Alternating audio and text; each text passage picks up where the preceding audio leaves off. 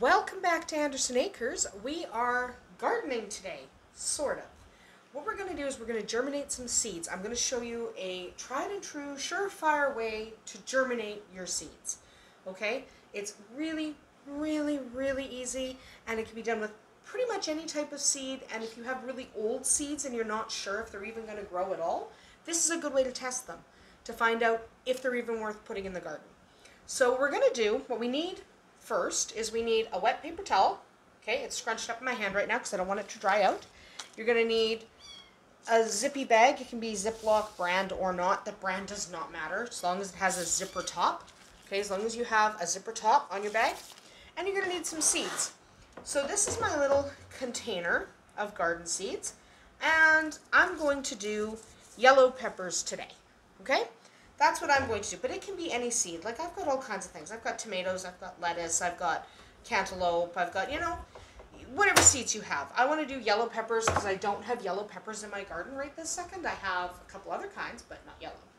So how we start is we get our wet paper towel. You really get your wet paper towel wet, like super wet, and then you squeeze out the water.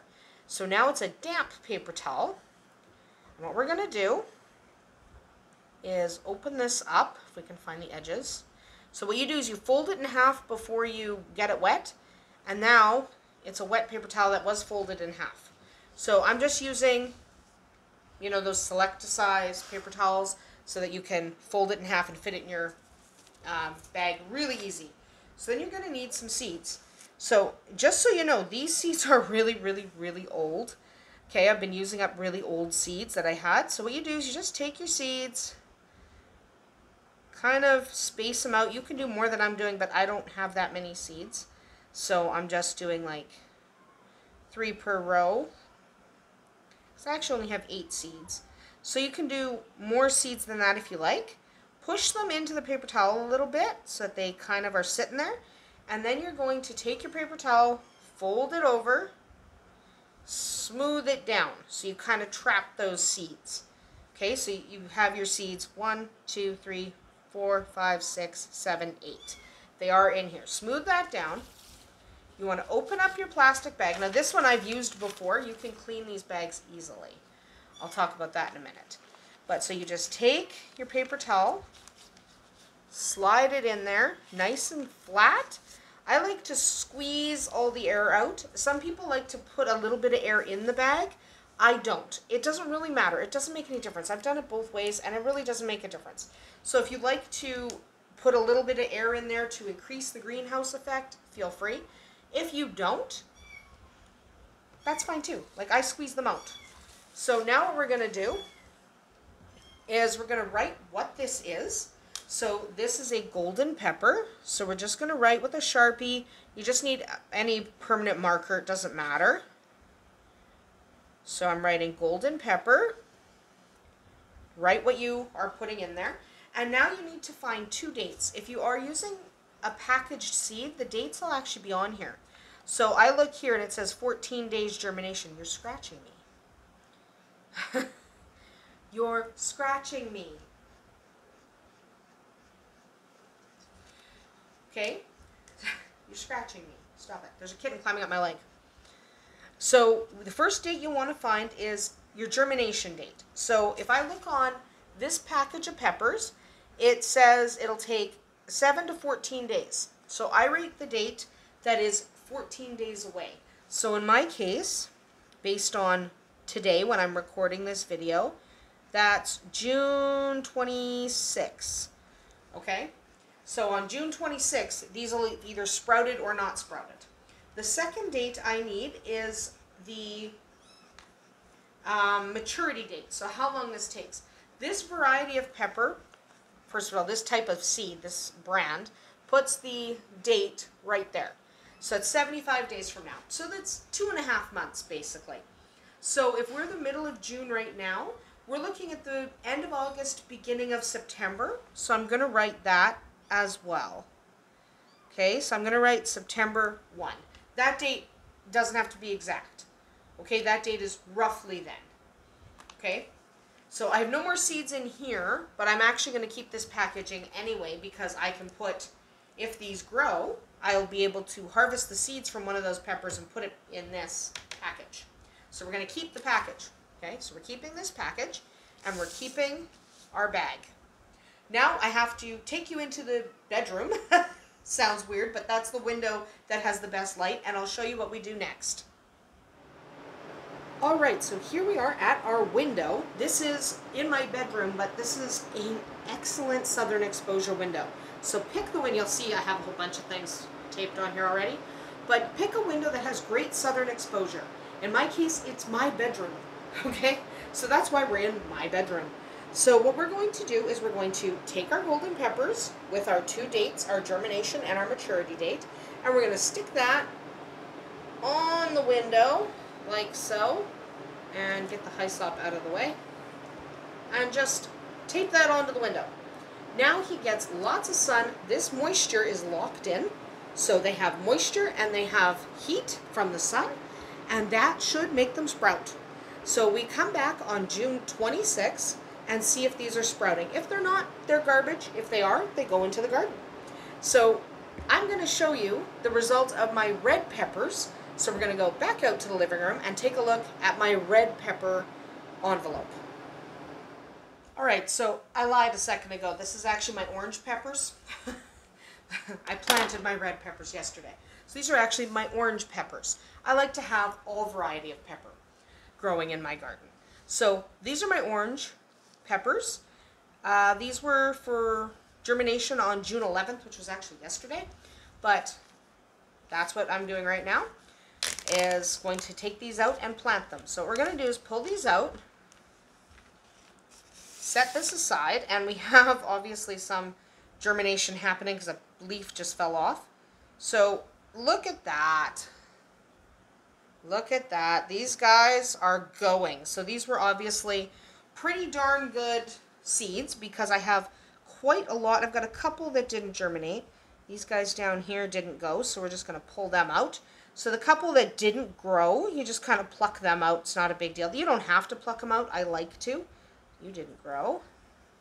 So the couple that just didn't grow at all, you can just pull out or you can leave them. It actually doesn't make a difference at all. It really doesn't matter. So I've got quite a few. I'm actually pretty pleased given that these were also really old seeds. So these, you check on your date so in my case, I checked a day late, but it's not really that big a deal.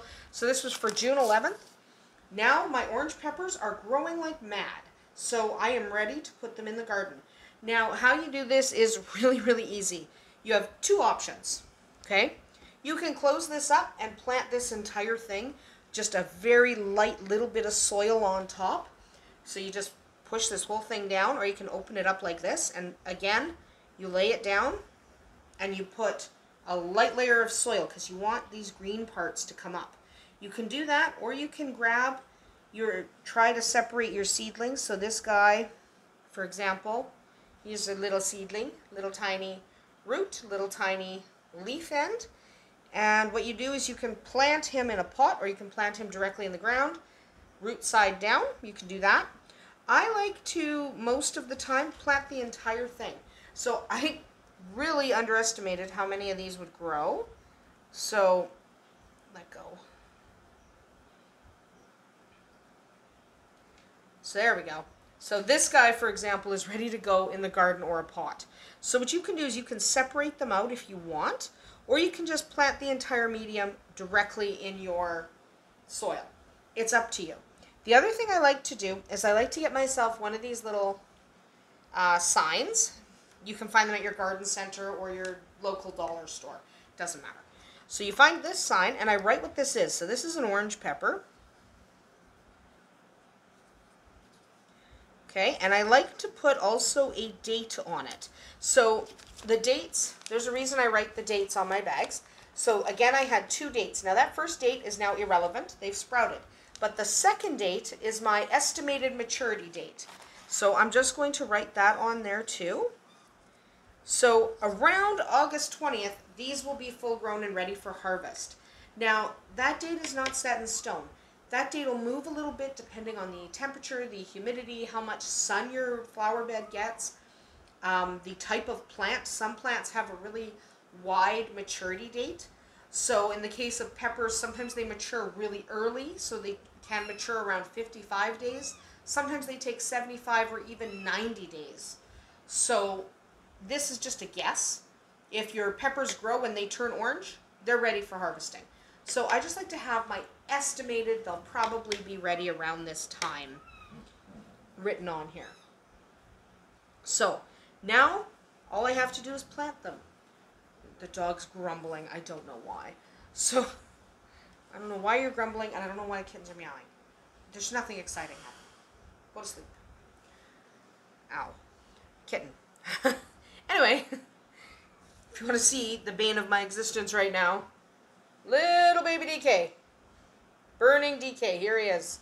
He's really annoying. He's trying to climb up my legs. so, and I'm wearing a dress. So climbing up my legs is kind of hurting. Anyway, so now we take these out to the garden and we plant them. Okay, it's really easy. You can leave it like this. You can fold it over. It doesn't matter. It really doesn't matter. You just put a little bit of dirt over them and they will grow. Okay, you can even grow them in individual pots like this. Put them in, put a pot, there you go, boom, boom. Oops. Throwing my seedling around. Be gentle with your seedlings. Don't do what I do. Chuck them around. So we're ready to take that out to the garden. One little bit of advice, you can reuse these bags. That goes with that. You can reuse these bags. So turn them inside out and give them a really good wash because you don't want, if there was, sometimes seeds will mold and you don't want any mold spores in there. So turn them inside out and wash them. You can take the words off with a little bit of hand sanitizer because permanent markers are alcohol based and alcohol dissolves alcohol. So use a little bit of hand sanitizer on your finger and just kind of erase your words. Doesn't work with a bare finger, but I promise it works with a little bit of hand sanitizer on your finger or rubbing alcohol and just gone. So then you can reuse your bags. I do reuse my bags for the entire season.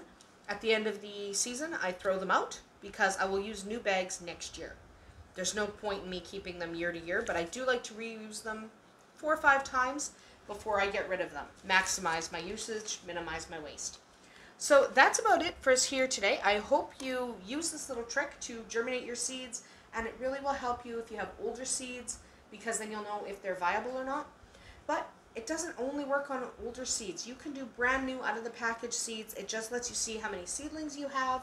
It helps you germinate them a little bit faster than you might germinate them in the soil because they have the warmth and the heat and the moisture that they need to get a good start in life. But that's about it for us here today at Andersen Acres. We'll see you tomorrow.